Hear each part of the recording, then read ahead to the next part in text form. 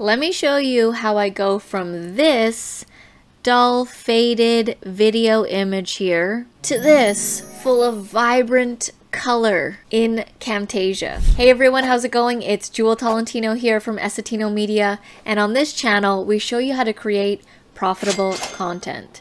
Alright, so let me show you how I do the Camtasia color correction. Now, this is my client Jen Kem here, and we manage her YouTube channel. So basically what that means is she films and then she gives us the footage and then we do the rest. We do the video editing, we do the channel management, we do the graphics, the thumbnail design, uploading, scheduling. She's just in charge of filming her videos. And so when she does her filming, she's over in San Francisco, California, and we're here in Vancouver, British Columbia, Canada. When she goes and does her filming with her videographer, they usually film in a certain type of DSLR setting where the colors aren't vibrant because you want to add them later on in editing in post. And so this is exactly how we get the footage from Jen. So let me show you how I spruce this up with some color. Now I call it color correction, but in Camtasia, you know, it's pretty basic. It's not like the crazy softwares where you can really, really tweak it, but there are two things that I do to spruce it up. The first thing that I do, and I do this exactly in this order, is in the Visual Effects tab, and it's under the Filters tab within Visual Effects. So there's this tab right here, and then the Filters tab over here. And you're going to find like a bunch of other filters that you can add on, but the one that I like is the color LUT, which basically brings out the saturation. Like it brings out more depth and more color. Now we want to tweak this, so I'm going to drag this on to the faded video clip here. And you can see it already made it quite vibrant.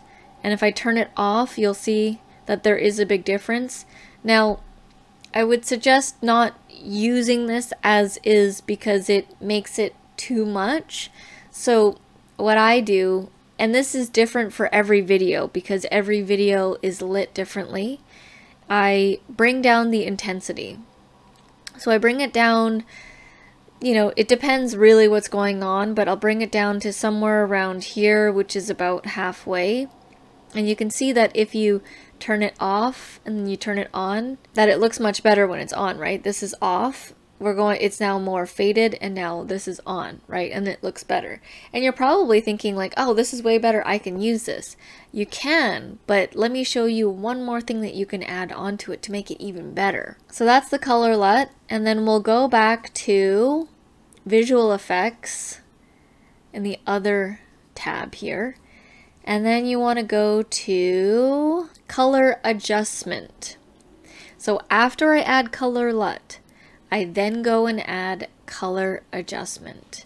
So I'm going to drag this on and then don't get scared because it's going to make it black and white. And I honestly don't know why that is the default. I wish the default was somewhere around the middle but anyways, it makes it black and white. Don't get scared. That's not the final outcome. It's because the saturation is way down. What I'm going to do is I'm going to bring the contrast way down. And again, it's different for every video, right?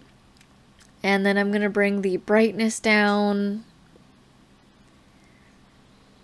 Right. Oh, that's too much. Bring it back up a little bit. And then we're going to bring the color which is the saturation. And then we're going to give this some life. There we go. So you see, it's starting to look really good. I get it to about here, and then you, it's now incremental. So you want to just do small tweaks. And at the end of the day, it's, you know, it's your preference, right? For me, what I usually like with videos is I like things full of color and vibrancy. It's just, I just like color. So I like for Jen to have the colors on her shirt pop out, the color of her hair pop out, the plants, the green in the plants, I want that to pop out. So I'm just going to do a couple of tweaks here and there, and I do this now incrementally. So I don't um, toggle with the mouse, I actually type in, you know, one by one and see what looks good. So that's at 96, so I'm going to type in 98, press enter, Do we want a little bit more coloring? It looks okay for now. I'm trying to get, you know, people to look natural, but also vibrant. And you can see there is a big, huge difference because if I turn off color adjustment, check this out, and we go back to just the color LUT, you're like, whoa, remember when we first initially put color LUT and then we were like, oh yeah, that looks good? Well, you really see a huge difference with the color adjustment. So if I turn off color adjustment and then I turn off color LUT, look, this is how I got the original footage from, right? So you always, in my opinion, should be adding some sort of color just to make it more vibrant, make it brighter at least, you know? And uh, let me just show you I'm going to turn back on color LUT and then I'm going to turn on color adjustment. Now, you might just do color adjustment and then I'll turn it off here. I'll turn off color LUT.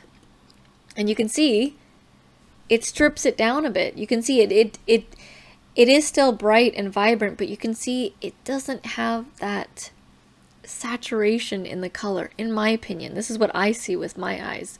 So I'll turn back on the color LUT and you can see like her hair is more deepened the and the shirt it's like has more color I'm just gonna just turn it on and off and you can see it is so much better with the combination of the color LUT and the color adjustment.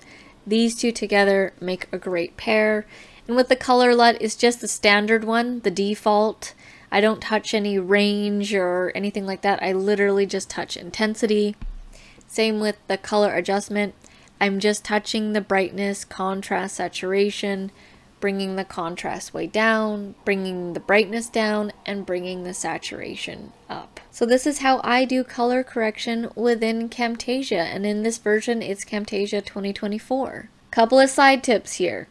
You want to do this before you clip your videos, before you do all the editing and all the chopping and everything like that do this beforehand because if you edit a video like this and you know you have lots of clips and you remove dead air and it's just like you have lots of pieces right when you go to do this it might freeze it might get overloaded because it's adding it to each individually whereas when you start off in the beginning it's like one long piece, it's way easier to add the color LUT and the color adjustment to that one initial piece. And then you can go and do the chopping of your videos and edit it as normal. So if you found this video helpful, please let me know by hitting the thumbs up button. That would be greatly appreciated. And if you want to fast track your Camtasia learning, I have a full-on Camtasia course. It's 10 plus hours. I just recently added a bunch of lectures to it. If you don't want any ads and you just want straight up Camtasia learning for lifetime, head down to the description below and get my Camtasia course. Thank you so much for watching and I'll see you in the next video.